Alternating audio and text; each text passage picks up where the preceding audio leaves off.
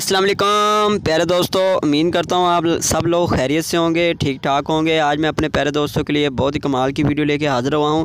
اکثر یہ پیارے بھائیوں کا یہ کمنٹ آتے ہیں کہ یار ہماری سلائی مشین جو ہے دھاگا توڑتی ہے۔ یہ یہ ہو جاتا ہے، بار بار دھاگا چھیچ جاتا ہے، کسی بھی کپڑے پہ چلائیں تو دھاگا ٹوٹتا ہے۔ تو آج اس کی پرابلم کا سلوشن میں لے کے حاضر ہوں، لیکن ویڈیو کی طرف جانے سے پہلے چھوٹی سی ریکویسٹ ہے کہ یار میرے چینل کو سبسکرائب کر دیں اور گھنٹی کو لازمی سے پریس کر لیں۔ آل نوٹیفیکیشن پہ کر لیا کریں تاکہ نیکسٹ ویڈیو کی جو نوٹیفیکیشن ہے آپ کو سب سے پہلے مل سکے۔ کیونکہ میں ایسی ہی ویڈیو کی جو ہے ریپیرنگ کے متعلق ویڈیو اور اس کے بعد سلائی مشین کی پرائز اور لیٹسٹ ماڈل کی ویڈیو اپلوڈ کرتا ہوں یوٹیوب چینل پر۔ تو ویڈیو کو لائک کر دیں، چلتے ہیں اپنی ویڈیو کی طرف۔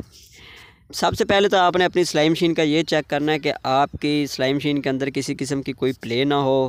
آپ نے اپنا گاز، فٹ شٹل وغیرہ جو ہے اچھے طریقے سے چیک کر لینا ہے۔ ان میں سے کسی بھی چیز کے اندر پلے نہیں ہونی چاہیے، ٹھیک ہے؟ سب سے پہلے۔ اس کے باوجود بھی اگر آپ کی یہ چیزیں ٹھیک ہیں تو پھر بھی سلائی جو نا دھاگا ٹوٹتا ہے تو آپ نے اپنی گائیڈیں وغیرہ بھی چیک کر لینی ہے۔ اس کے بعد بھی اگر دھاگا توڑ رہی ہے، سلائی مشین دھاگا چیک کر لینا، کہیں دھاگا تو کسی گند، گندی کوالٹی کا تو نہیں ہے، ہلکی کوالٹی کا تو نہیں ہے۔ سر، دھاگے اتنے ہلکے ہوتے ہیں کہ وہ سلائی مشین اب ایک ٹانکا لگانے کے بعد دھاگا فوراً ٹوٹ جاتا ہے۔ اگر یہ سارے کام کرنے کے بعد بھی آپ کا دھاگا ٹوٹ رہا ہے تو اس اس کے بعد جو آپ نے کرنا ہے وہ یہ ہے کہ آپ نے نا اپنی سوئی دیکھنی ہے، سوئی اگر آپ کی سوئی کہیں سے خراب ہے تو اسے چینج کرنی ہے۔ اگر اٹھارہ نمبر ہے تو سولہ نمبر لگا کے دیکھ لیں۔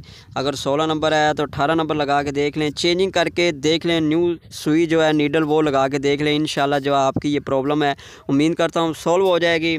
ملتے ہیں انشاءاللہ نیکسٹ ویڈیو میں۔ تب تک کے لیے اجازت دیں۔ اللہ حافظ۔